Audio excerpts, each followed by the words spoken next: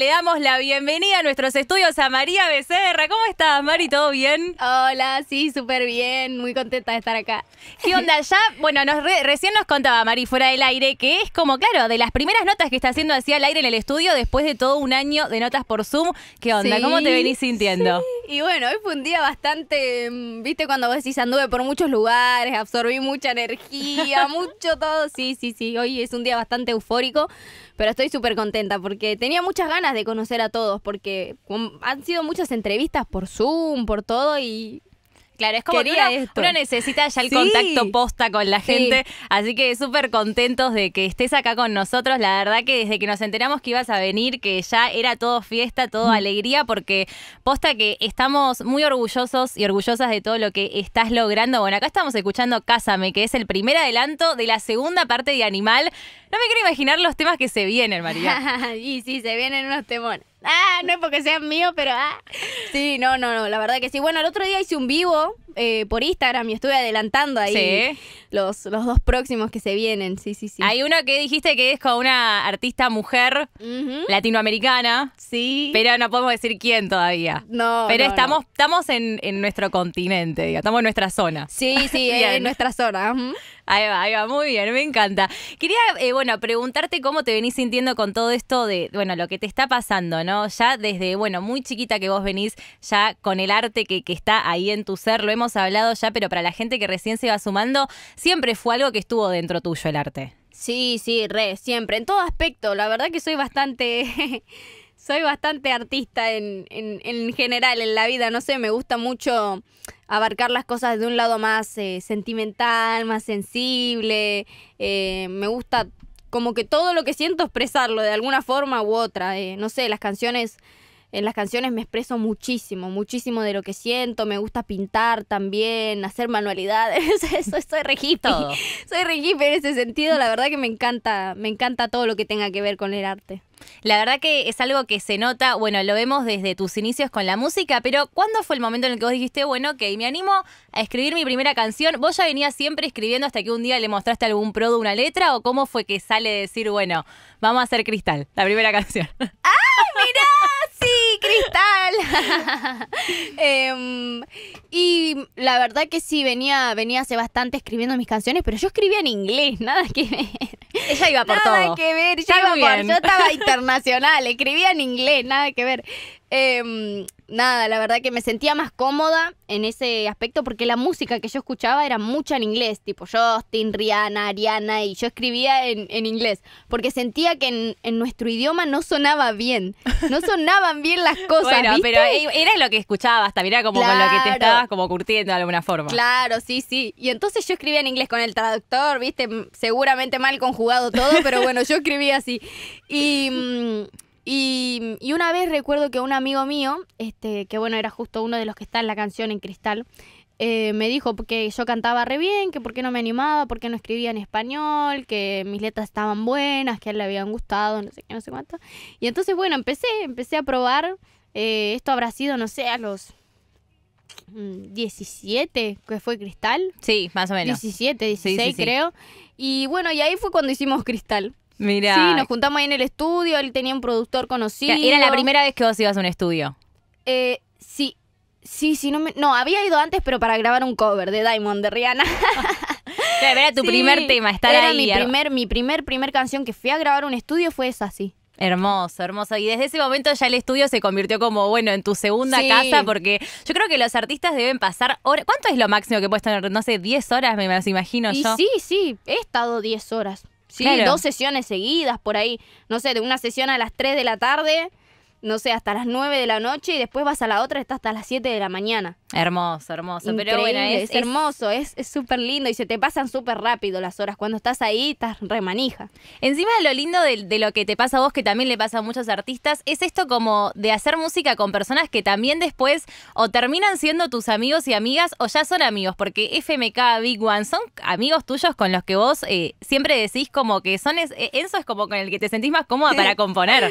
sí, sí, sí, ellos son súper amigos, no sé, Tiaguito, el Lid, eh, bueno, Emi, Tini, son amigos, son gente que, que la verdad tengo el honor de, conocerlas más allá del artista, del personaje, ¿viste? Duke, Ikea, son gente muy buena, gente muy buena, muy, muy compañeros, este, siempre con ganas de que el otro progrese. La verdad que tenemos una, una escena muy linda. Posta que eso es algo que, siempre lo, valoran todos los artistas. Hablan esto, destacan esto, el compañerismo que hay entre, entre todos ustedes.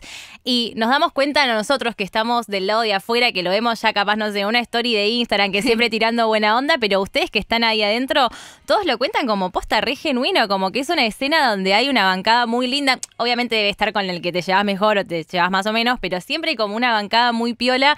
Eh, ¿Y cómo tomaron todos ellos cuando le dijiste, chico, bueno, J Balvin me llamó, vamos a hacer un temita.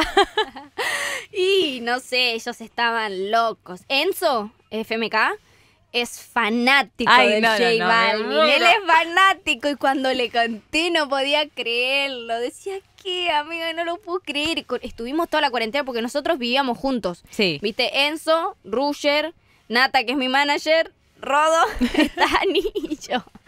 Éramos una banda, vivíamos en una misma casa. Y, la cuarentena fue, viste que la cuarentena era no hay nada, bueno, nos ponemos música al parlante acá y bailamos entre nosotros. Claro, más de, hacemos ahí el Más de uno hizo esa. Y, y la hacíamos con todos los temas del J Balvin, con todos los temas de colores. No, no, no, y él súper fanático. Es, él fue una gran inspiración para, para Enzo en cuanto al reggaetón y todo, a él le encanta y la verdad que le voló la cabeza, no, lo podía creer. Es que es increíble. ¿Cómo, ¿Cómo te llega la idea? Te, te habla por Instagram J Balvin, te habla y te dice, che, ¿qué onda? ¿Te copa esto?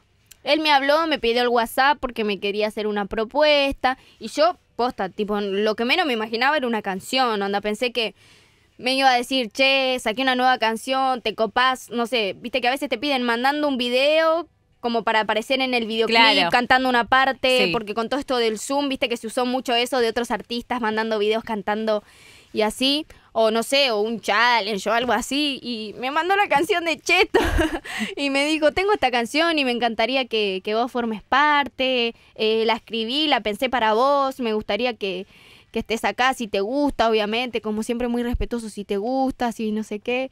Y nada, yo estaba flasheando la canción. la canción era increíble. yo cuando la escuché dije, ¿qué? Y encima le faltaban las baterías, le faltaba todo. Estaba como medio ahí, solo la melodía, ¿viste? El claro, o sea, él te mandó como, como a un poquito de la canción nomás y tu parte, digamos. Solo tu parte la pudiste, la escribiste vos. No, mi parte la escribí yo. Ah, genial. sí, creo, ¿qué te pensás? Ah. no, yo cuando dijiste la canción completa dije, ah, bueno, escribió todo. Ah, no, no, escribiste. Ah, ok, ok. la canción igualmente estaba. Eh, está sonando. Sí, él, él había hecho toda una canción.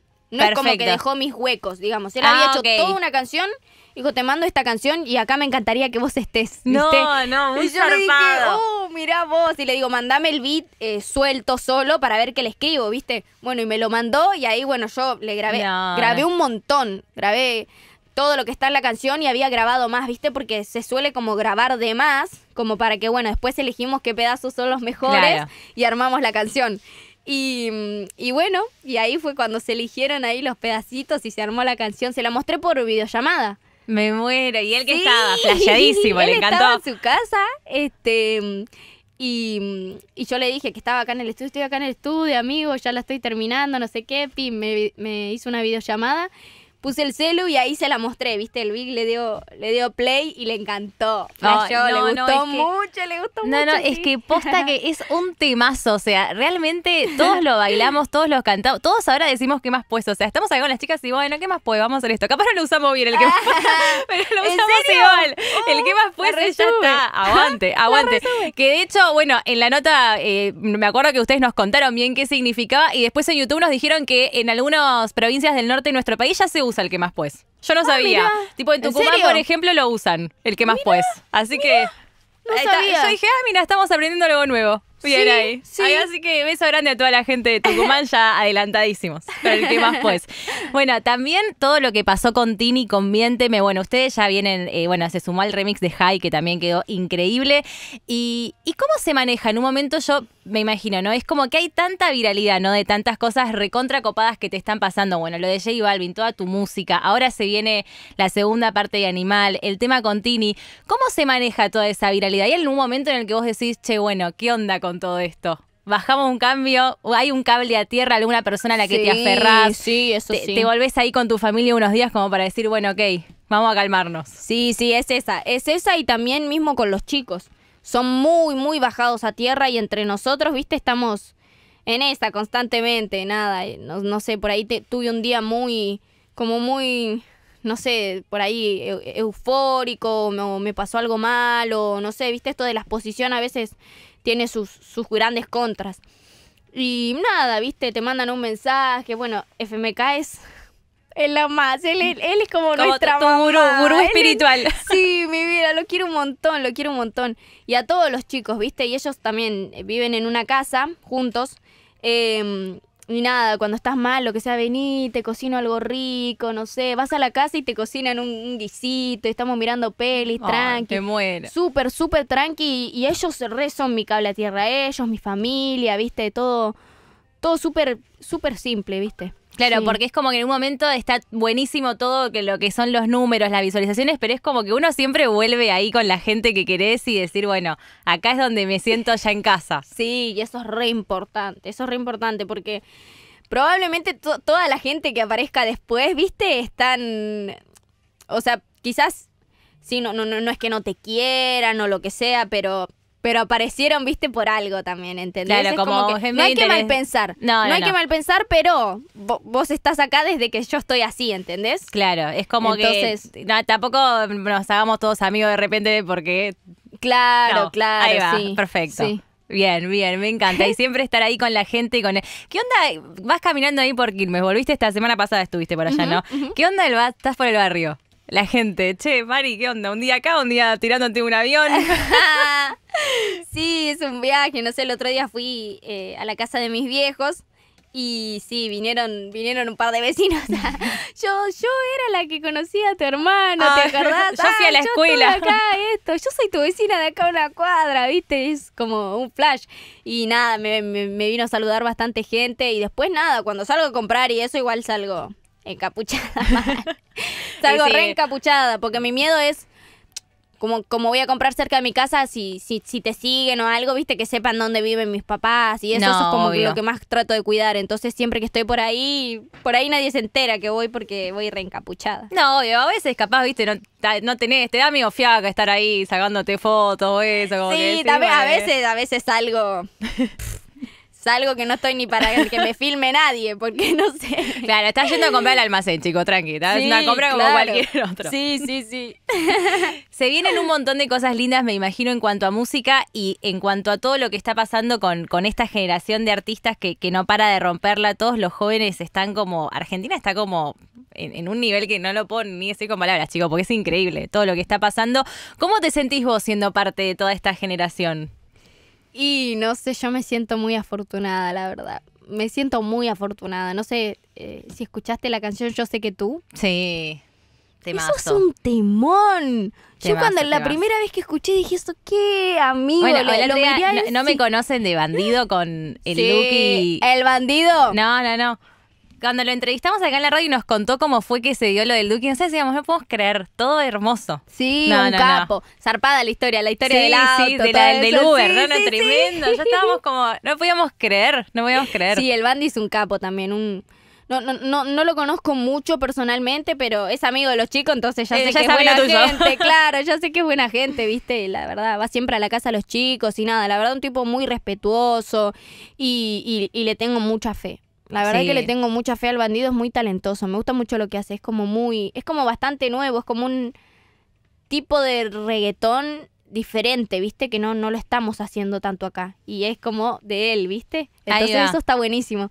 Y, mm, y cuando escuché, yo sé que tú por primera vez, lo miré a eso y le dije, amigo, no lo puedo creer. Le digo, esto es... Es otro nivel. Esto suena, esto suena de, de, de afuera, le digo esto es increíble. Y no lo podía creer yo cuando escuché Es que encima está pasando algo muy piola con el tema del reggaetón. Si bien ya se viene haciendo hace mucho tiempo reggaetón acá en Argentina, bueno, Casu creo que fue como una de las primeras que, hizo reggaetón no sé, habrá sido 2016, 2017.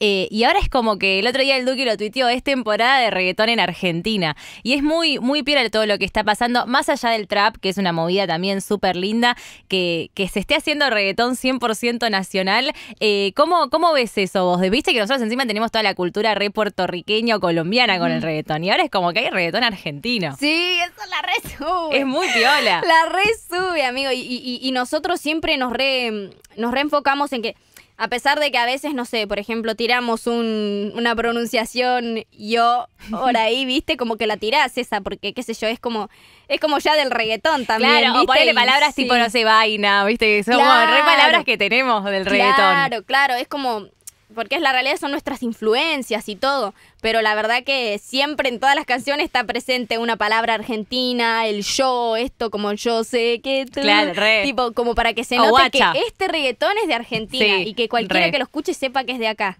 Hermoso, hermoso todo lo que está pasando con, con, los artistas. Y ahora, bueno, estamos acá escuchando a Caramelado, que es parte de Animal Parte 1.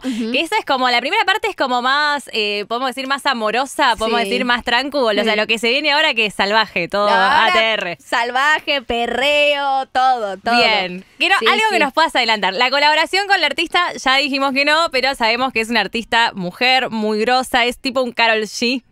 Sí. Bien, ¿es Carol G? No, no es Carol G. Era como que sacar la ficha. Sí, y lo contó y lo, contó retranco, dije. tipo, dije, uy, se le escapó. Dije, no. No, no, no, no es ella, no es ella. Ok, gente, no es Carol G. Vamos a dejarlo claro. Pero estamos como por esa zona.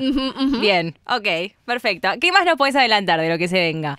En cuanto a sonidos, em, quizás, como para no spoilear mucho. Bueno, y mucho reggaetón duro. Bien. Reggaetón hardcore. Perfecto. Sí, sí, sí, sí, Más del estilo animal, este, con Kazu. Sí, más del yo sé que tú también, como mucho por ese lado. Sí, sí, bastante para bailar. Y canciones con su historia, que cada una es una historia diferente. No es como en Animal Parte 1, que era, viste, todo relacionado. Acá es cada uno es su historia y sé que les va a gustar mucho porque también es muy distinto. Qué lindo. Muy distinto. ¿Tenemos fecha más o menos de estreno para la segunda parte? Mes que viene. Mes que viene. Bueno, o sea, ya Cásame es de la segunda parte, es el corte de la segunda parte de Animal. Pero bueno, ya en julio Ahí, ahí, soltamos lo verdadero. Para, para que entremos en calor. Ahí va, para los días frescos. Y toda la segunda parte también eh, producida con Big One, con FMK, con todo el equipo que ya venía. Sí, sí, sí, con Big, con FMK, este, y hay alguna que otra también. Bien. Con, gente de por ahí. ¡Ah, no puedo decir mucho. ok, perfecto, porque en el viaje que estuviste haciendo estuviste trabajando con varios artistas, varios productores. Todo eso es música que va a salir año que viene, este año. Sí, ojalá, ojalá este año, sí, seguramente. O sea, yo una vez que saque el álbum, no sé si voy a descansar mucho tiempo. Ah, no, porque es que yo soy re Claro, te agarra como la manija de decir, bueno, vamos por más. Sí, claro, pero viste que usualmente después de un álbum como que un artista y se relaja, ok, ya te mandé como 20 canciones de una, ahora me calmo un poco. Pero nada, sí, sí, sí, seguramente después del álbum tomemos ahí un, mini break también para estar haciendo muchas más canciones, viste, sin la presión de por ahí tener que saber que las tienes que sacar ya o no sé qué. Y, y bueno, y después vamos a, volver duro. Pero no creo que sea muy largo el break, porque soy muy ansiosa, no puedo. Unas vacaciones, María Becerra, por favor. Vacaciones unos días de relax para parar, parar un poco de hacer tanto hit, tanto temazo, tanto temazo. Pero sí, bueno, pero es que yo imagino como que encima los artistas, viste que, bueno, a vos ahora que estás como adentro, obviamente ya lo ves, pero viste que siempre dicen, bueno, sacan un disco y de repente cuando lo sacan ya, ya tienen como dos discos más para después, o sea, ustedes no paran. No, es, es tremendo. Y es que por ahí en un día, en un día de inspiración te haces dos, tres temas. O sea, es, un, es un viaje. Y esas tres canciones por ahí las sacas en un lapso de, no sé, cuatro, cinco meses, las tres, ¿viste? Porque cada una tiene su tiempo, su vida. Y sí, la verdad que sí. Hermoso, qué lindo, qué lindo todo lo que se viene, María. Estamos muy manijas mes que viene, entonces ya vamos a estar escuchando la segunda parte de Animal. Y tenemos, tenemos, puede ser un mensaje, como que alguien nos vino, nos dejó un mensaje para, para, para María. A ver, vamos a escucharlo, por favor, hola. Hola Delfi, hola María, mi nombre es Maga. Eh, bueno, María, mi pregunta para vos es la siguiente. Sabemos que sacaste la parte 1 de animar, la cual está espectacular y no podemos esperar a escuchar la parte 2, pero me gustaría saber, de todas las canciones que sacaste hasta el momento, ¿cuál es la más especial para vos que vos digas, esta la siento y la escribí desde el fondo de mi corazón? Te mando un beso y la radio está buenísima. Y otro beso te mando, qué capa. Eh, y la verdad que creo que la más, una de las más sentidas es Hi, dime cómo hago, porque son cosas que me pasaron y son súper, y las escribí re triste. Ahí Pasa mucho eso, desde el desamor hay mucha letra. Sí, re. Sí, ¿no? Y bueno, pero ahora justo te iba a decir que mm, eh, esas sí son muy sentidas, de hecho son las más sentidas que tengo, pero hay una que está por venir ahí que es mi debilidad, que la verdad la inflé como loca esta canción. sí, la nombré todos lados y que escribí un temor, no sé. Bueno, tiré el adelanto el otro día en el vivo, todo. La verdad que esa esa me dolió, me dolió escribirla, esa me dolió bastante y, y, incluso me pasó que cuando estaba grabando se me ponían los ojos llorosos, todo eso nunca me había pasado. Claro, es como que vibraste como súper sentido desde adentro. Sí, esa, esa, esa es la verdadera triste. Pero dice que los artistas siempre dicen como que la tristeza sale. Sale a veces como Sí, de alguna forma. De algún lado tiene que salir. Claro, de alguna forma tiene que salir, sí, totalmente. Hermoso, qué lindo. o sea, me quedo muy manija, chicos. Entonces, escuchar ya, bueno, julio, falta poquito. Ya estamos a 21. Bueno, poquito. Sí, falta poquito. Falta poquito, falta poquito. Bien, paciencia. Y tenemos un mensaje más. A ver, hola. ¿Qué pasa con la Mari? Ay, ay. Nada, te mando este video porque me lo pidió la producción. Nada, porque te quiero. Este, estoy muy orgulloso por vos y por dónde estás llevando al país. Ya sabes que te quiero un montón y que te admiro una banda. Beso enorme. Ah, más tiene el Tiaguito. No, no, no. Tiago, ay, otro que no para. Sí, no, no, Tiago también muy laburante, muy laburante muy sensible, nada. La verdad que los quiero en la banda. estoy re contenta, estoy re contenta de tener la canción con él. Este, como te digo, viste, es muy trabajador en, el estudio. El otro día, voy a subir ahora, voy a subir este el día que le mandé la canción. Tipo, él me puso, sí, sí, me meto, no sé qué. Y, a los 20 minutos creo que me puso, ya tengo mi verso. Me puso re manija, che, se había puesto a escribir. Sí, Cásame a él le gustó de la primera vez que se lo mostré era también una canción completa que había hecho yo y, siempre nos mostramos nuestra canción entre nosotros, ¿viste? Para recibir opiniones, para vacilarla, para todo. Y, a él le había encantado. Casa me le encantó y dije, ojo con el Tiago, ¿eh? Digo, no me diga que le digo que se meta. Y sí, al final le dije porque su voz en esta canción me, la imaginaba increíble y la verdad que la partió. No, posta que, tiene una voz súper linda, encima canta muy bien mm. y, también le está yendo súper bien. Bueno, a todos los chicos le está yendo súper bien, a Litkill, al Duki, bueno, a Ruger también la está rompiendo. Mm. Eh, así que, que nada, él va a estar en, esta segunda parte, algún temita, el Ruger o Tommy no, no, no. Tommy en esta parte no, pero tenemos unos temones guardados. y ahora el Tommy saca uno el miércoles, Nata, o el jueves. Bueno, el miércoles jueves saque un temón. Bien. Un temón. Miércoles nos dicen acá, bien. Sí, un temón. Excelente, excelente. Qué lindo, qué lindo todo lo que está pasando con todos ustedes. La verdad que es un orgullo realmente para nosotros estar siempre acompañándolos. Siempre acá los oyentes en la radio piden los temas, mandan buena onda, buena energía. Así que me imagino para vos cómo te debes sentir con todo esto. Así que felicitaciones. Queríamos preguntarte qué onda el 22. Justo te vi los tatuajes y dije, ah. ¿qué onda el 22 para María Becerra? Y el 22 es como mi número de la suerte. Ahí va, tu, número para todo. Sí, porque aparece en todo, en todo lo de mi vida. Y viste cuando, no sé, me ha pasado también cuando tomé decisiones importantes o, o en eventos importantes que me sucedieron, el 22 estaba, viste, o sea algunos me tomarán de playera. Siempre que cuento esta historia es como que algunos. Pero yo, re, yo rebanco la numerología, yo yo recreo, aguante. Sí, yo recreo también. Sí, sí, sí. Y me ha pasado, no sé, por ahí salgo de algún lugar, no sé, como con sensaciones o pensativa porque salgo de alguna reunión o algo, ok, ¿qué va a pasar con esto? decisiones importantes que tengo que tomar. Y por ahí, no sé, me fijo la hora, son las 22, 22. No. O me cruzo un bondi que es el 22 y digo, eh, por acá. Y tomo la decisión si el Bondi 22 pasó. Ah, no, pero... ¿vos naciste un 22? No. Yo nací el 12 del 2 del 2000 a las 2 de la tarde. sí. Todo muy dos. Sí, después me llamo María de Los Ángeles, es mi nombre completo. El, y el 22 es el número de Los Ángeles. Está todo, ahí relacionado. Bueno, soy hincha de gimnasia de Esgrima La Plata, de que nací porque mi mamá es hincha del Lobo y la banda del Lobo es la 22. Ahí va, ya está listo, todo 22. Y así puedo seguir hasta mañana. Y, cumplís 22 el año que viene. Sí, el año, el año que viene es mi año. Cuando el, cumple de los 22 rompemos todo. Uy, sí, ahí rompo todo. Ahí Ojalá no haya más pandemia, así me rompo un parizón. Cantamos 22 de Tini todo el tiempo en loop. sí, de la Tini. otra, otra grosa Tini también rompiendo. la que hoy, hoy estrenan los chicos, ¿no? ¿Tema? Sí, hoy, hoy el remix con Mía. Con 2,50, chicos, ya estamos todos conectados con el 2. Ahí va. Excelente. Mari, felicitaciones por todo lo que estás logrando. Un placer que hayas venido acá a los estudios, que nos hayamos conocido al fin personalmente y con todo el equipo acá que nos encanta que, estés acá, nos encanta todo lo que te está pasando. Así que muchísimas gracias por venir y bueno, y felicitaciones por todo lo que se viene y cuando estrenes el disco, puedes venir cuando quieras, por supuesto. Sí, obvio. Bueno, muchas gracias Delphi por el recibimiento, por la linda charla y bueno, a toda la gente que estuvo ahí bancando, que estuvieron preguntando Muchas gracias y les mando un beso grande a todos y a todas. Like. ¡Ay, ¡Qué genia! Gracias. La partimos.